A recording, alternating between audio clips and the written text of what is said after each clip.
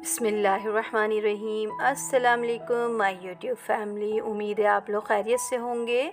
आज मैं आपके लिए लेकर आई हूँ चिकन विंग्स की रेसिपी, जो कि बहुत ही मज़ेदार होते हैं। आप लोग ज़रूर ट्राई कीजिएगा। तो चले चलते हैं किचन में। ये मैंने चिकन ले लिए है। चिकन ले लीजिएगा। ये हाफ़ के जी चिकन है। बोल के थोड़ी सी ज़्यादा ही थी उससे ना। तो हाफ़ के जी कर लीजिए, आप हाफ़ के जी चिकन ले लीजिएगा, उसको हमने थोड़ी देर पानी में रख दिया, फिर इसको हमने इस तरीके से कट कर लिया।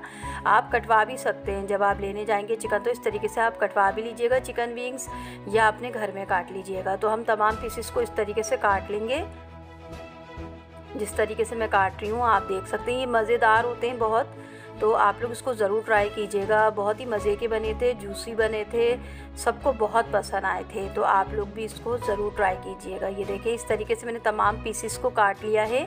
अब हम इसमें फ़ोर टेबल स्पून सिरका डालेंगे और पानी हम इसके अंदर इतना डालेंगे कि ये चिकन जो है उसके अंदर डिप हो जाए।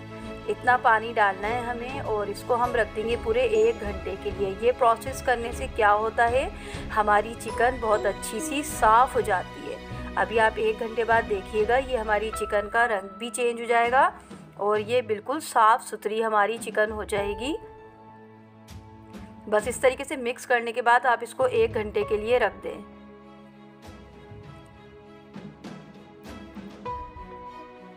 ये देखें, ये हमारी चिकन को पूरे एक घंटा हो गया है। आप देख सकते हैं हमारी चिकन कितनी साफ़ सुथरी हो गई है। ये प्रोसेस करने से ये होता है। और अब हम इसको दो तीन पानी से अच्छी तरीके से वॉश कर लेंगे। वॉश कर लिया है मैंने चिकन को। ये मैंने छन्ने में निकाल लिया था। अब हम इसके अंदर अपनी स्पाइसेस ऐड कर देंगे।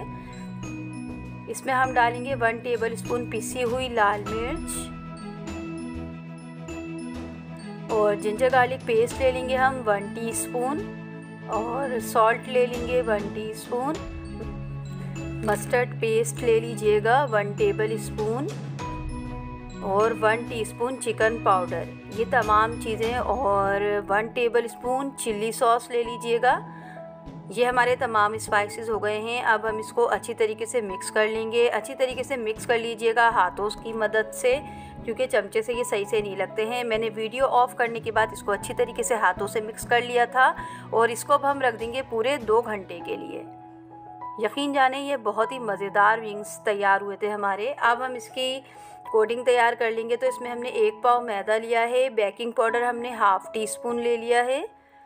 और हाफ़ टी स्पून पिसी हुई काली मिर्च और हाफ़ टी स्पून ही हम इसके अंदर सॉल्ट डाल देंगे। बस ये नमक डालने के बाद आप तमाम चीज़ों को अच्छी तरीके से मिक्स कर लीजिएगा। अच्छी तरीके से मिक्स करना है हमको इसको।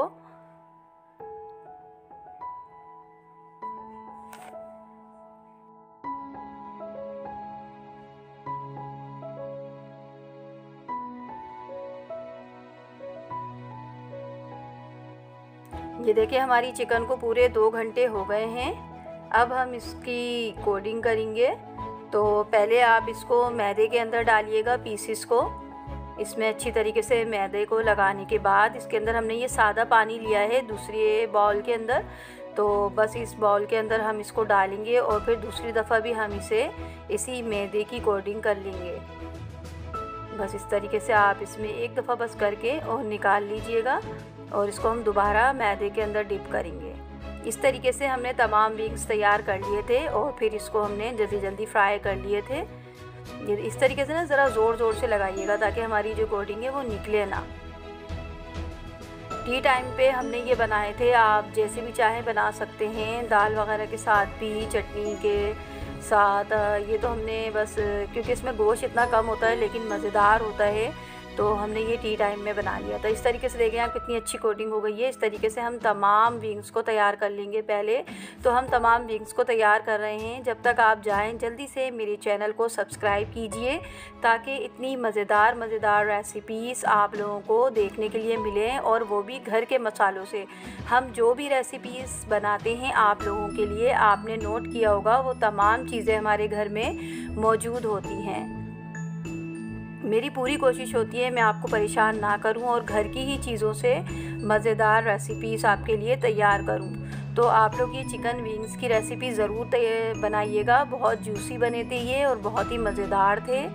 तो इन आपको मेरी ये रेसिपी भी बहुत पसंद आएगी। ये ऑयल हमारा गर्म हो गया है।